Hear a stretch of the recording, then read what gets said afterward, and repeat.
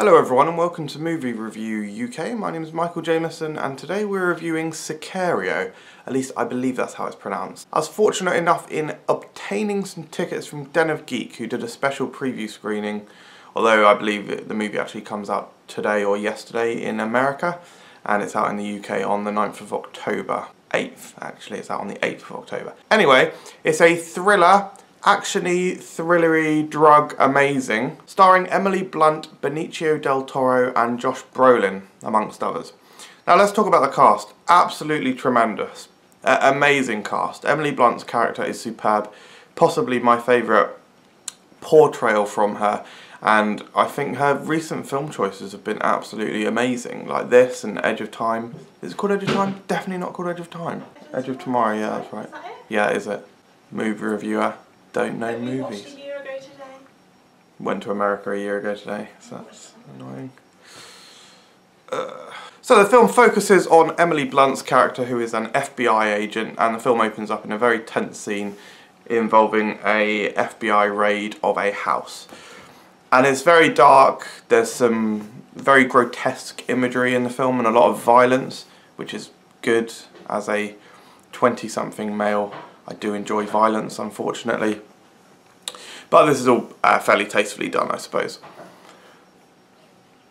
The extended cast as well is just uh, fantastic and adds to the overall experience. Uh, though there are the odd cliches along the way, uh, cliched relationships, responses, and uh, typical kind of military, police, FBI, whatever characters.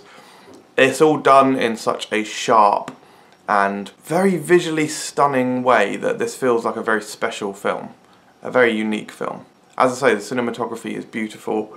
There are specific shots I can think of, uh, like there's a shot involving a sunset and uh, military personnel disappearing into the silhouettes. It's absolutely incredible. Like it is actually stunning. Like I, I could like I was like this is beautiful, and I could uh, see the people next to me. I I think visually also just looking at the screen, taking in the beauty, it was something else. And another thing that I noticed about the how the movie was shot, which was amazing, that I, certainly haven't consciously noticed before, or that I think is, is certainly definitely not in many films, is these quite panned out but intense highway shots, or not highway shots, overhead bird's eye shots of basically car chases or vehicle movements and they had this for me it gave it like a sense of enormity but also focus. Like it was it was kind of like a medium length. You could see everything and you could see the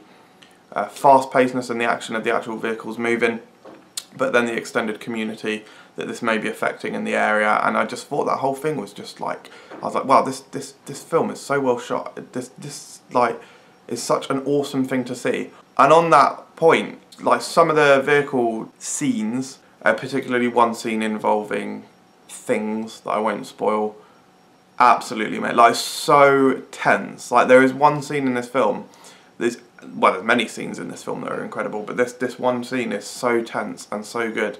I was like, this is what this is one of the best scenes I've seen recently.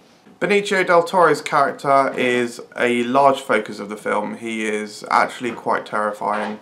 He's mysterious. He has a shady past. We're never quite too sure much about him, nor is Emily Blunt's character. And he, again, he stars in some of the film's most intense scenes. I really enjoyed the plot. It's not necessarily twisty or anything like that. It's just a, a decent, solid plot with decent locations and yeah, just awesome imagery.